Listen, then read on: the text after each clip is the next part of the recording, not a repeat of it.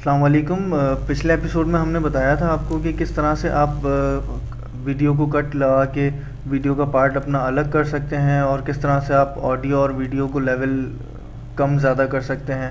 ये चीज़ें हमने आपको पिछले एपिसोड में बताई थी। अब मैं आपको इस एपिसोड में ये बताना चाहता हूँ कि अगर आप अपनी वीडियो पे कोई वाटर मार्क लगाना चाहते हैं या कोई टेक्स्ट डालना चाहते हैं या कोई लोगो लगाना चाहते हैं तो वो किस तरह से लगाएँगे? सबसे पहले मैं बताऊँगा कि टेक्स्ट किस तरह से आप अपनी वीडियो पे पुट कर सकते हैं। सबसे पहले आप अपनी वीडियो की जो आपकी बार आई हुई है, आप वीडियो की जो टाइमलाइन है, उसके ऊपर राइट क्लिक करेंगे। राइट क्लिक करने के बाद इंसर्ट वीडियो ट्रैक कर देंगे। इंसर्ट वीडियो ट्रैक करने के बाद आपने देखा कि एक ट्रैक यहाँ पर ऐड हो गया है। अब इसी ट्रैक के ऊपर आप यहाँ पर, आप देख सकते हैं, थोड़ा सा ऊपर जाएँगे तो मीडिया जनरेटर आपको दिख रहा होगा। मीडिया जनरेटर पर क्लिक करें। उस पर आपको टेक्स्ट का ऑप्शन नज़र आएगा। यहाँ पर ये टेक्स्ट है टेक्स्ट पे क्लिक करें। और टेक्स्ट पे क्लिक करने के बाद जो सबसे पहला टेक्स्ट है वो आप यहाँ से ड्रैग करके अपनी टाइमलाइन पर ले आइए।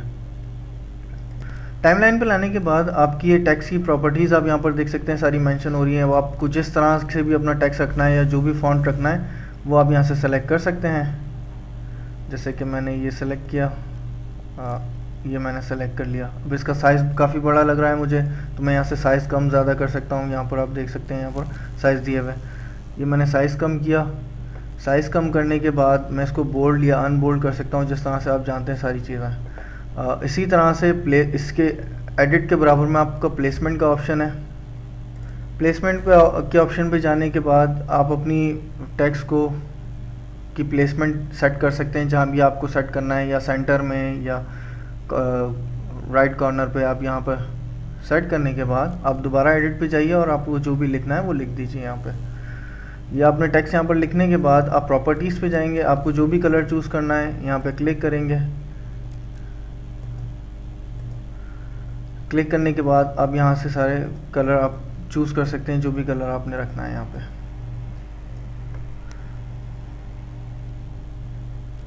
कलर चूज़ करने के बाद आप इफ़ेक्ट पे जा सकते हैं। इफ़ेक्ट पे ये है कि आप इसका बैकग्राउंड सेट कर सकते हैं और बैकग्राउंड के अलावा अगर आप चाह रहे हैं कि ड्रॉप ड्रॉ आउटलाइन शो करना चाह रहे हैं तो वो आप यहाँ पर ड्रॉ आउटलाइन आउटलाइन पे क्लिक कीजिए। क्लिक करने के बाद आप आउटलाइन का कलर यहाँ से सेलेक्ट कर लीजिए, जो भी आपको कलर रखना है। सेलेक्ट करने के बाद आप ओके कर दीजिए। इसमें आपको ओके करने की ज़रूरत नहीं पड़ती है। आप जो भी चेंजेस करते जाएँगे, वो ऑटोमेटिकली आपकी टाइमलाइन पर चेंजेस होती रहेंगी। और अगर आपने दोबारा से वो चेंजेस एक बार आपने कर लिए और दोबारा आप चेंजेस करना चाह रहे हैं तो यहाँ पर एक छोटा सा ऑप्शन है जनरेटेड मीडिया के नाम से। उस पर आप क्लिक करेंगे तो दोबारा से वही प्रॉपर्टीज़ खुल जाएँगी। फिर आप अपनी मर्ज़ी से जो भी आपको टैक्स में चेंजेस करनी है, वो आप कर सकते हैं, चाहे प्लेसमेंट हो या कलर हो या कुछ भी हो।